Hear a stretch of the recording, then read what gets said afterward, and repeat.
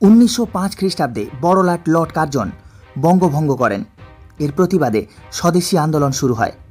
প্রথম পর্যায়ে এই আন্দোলন নিয়মতান্ত্রিক পথে পরিচালিত হয়। এই পথে কোনো প্রতিকার না পেয়ে বাঙালি যুব সমাজ হতাশ হয়ে পড়ে।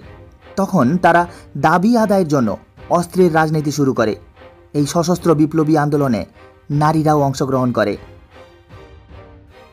আমাদের আজকের এপিসোড, সশস্ত্র বিপ্লবী আন্দোলনে নারীদের ভূমিকা।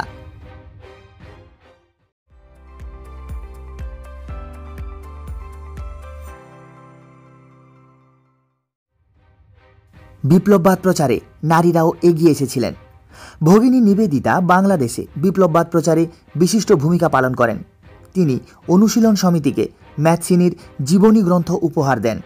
এই গ্রন্থ থেকে বিপ্লবীরা গেরিলা যুদ্ধ পদ্ধতি সম্বন্ধে ধারণা লাভ করে। এছাড়া ক্রপটকিনের লেখা, বিপ্লবীর আত্মকথা এবং রুশ ও ফরাসি কারাগার গ্রন্থ দুটি বিপ্লবী ভূপেন্দ্রনাথ দত্তকে উপহার দেন ভগিনী নিবেদিতা। বিপ্লবী গ্রন্থ দেওয়া ছাড়াও তিনি বিভিন্নভাবে অনুশীলন সমিতি ও যুগান্তর দলকে সাহায্য করতেন। কলকাতার জোড়াসাঁকোর ঠাকুর বাড়িতে যে হিন্দু মেলা অনুষ্ঠিত হতো, তার প্রেরণা ও প্রভাব সরলা দেবীর উপর পড়েছিল। পরে সরলা দেবীও নিজ বাড়িতে একটি আখড়া খোলেন। এখানে তিনি প্রফেসর মোর্তাজা নামে এক প্রশিক্ষক নিয়োগ করেন। তার সাহায্যে বাঙালি ছাত্র যুবকদের শারীর শিক্ষা ও অস্ত্র শিক্ষার ব্যবস্থা করেন।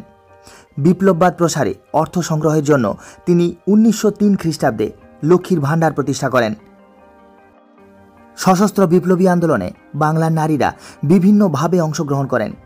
কখনো বিপ্লবীদের আশ্রয় দান, কখনো বিপ্লবীদের অস্ত্র জমা রাখা ও সরবরাহ করা, আবার কখনো সক্রিয়ভাবে বিপ্লবী কার্যকলাপে অংশগ্রহণ করা প্রভৃতি। কুমিল্লার মনোহরা দেবী, মৃণালিনী দেবী এবং হেমপ্রভা দেবী নিজেদের বাড়িতে অস্ত্র মজুদ বিপ্লবীদের আশ্রয় দান করেন। ঢাকার ব্রহ্মময়ী সেন বীরভূমের দুকড়িবালা দেবী নিজ নিজ এলাকায় অনুরূপ কাজ করতেন। এভাবে বাংলার নারীরা বিপ্লবী আন্দোলনে পরোক্ষভাবে অংশগ্রহণ করেন। বিনা দাস নামে ডাও সেশন কলেজের ছাত্রী বাংলার গভর্নর স্ট্যানলি জ্যাকসনকে গুলি করেন। ফলে তিনি গ্রেপ্তার হন এবং বিচারে তাঁর যাবজ্জীবন কারাদণ্ড হয়। শান্তি ও সুনীতি নামে কুমিল্লার দুই স্কুল ছাত্রী কুমিল্লার জেলাশাসক স্টিভেন্সকে গুলি করে হত্যা করেন।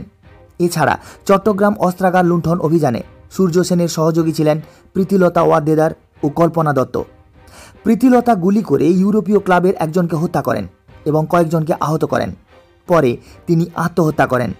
কল্পনা দত্ত ডিনামাইট তৈরির চেষ্টা করেন এবং গ্রেপ্তার হন। বিচারে তার যাবজ্জীবন কারাদণ্ড হয়। এইভাবে পারিবারিক ও সামাজিক বাধা দূর করে সীমিতভাবে বাংলার নারীরা সশস্ত্র বিপ্লবী আন্দোলনে অংশগ্রহণ করেছিলেন। বন্ধুরা, আজকের ভিডিও সম্পর্কে তোমাদের মতামত কমেন্ট করে জানিও। ভিডিও ভালো লাগলে লাইক, শেয়ার করতে ভুলো না। চ্যানেলে নতুন হলে সাবস্ক্রাইব করে বেল বাটন প্রেস করে অল করে দিও।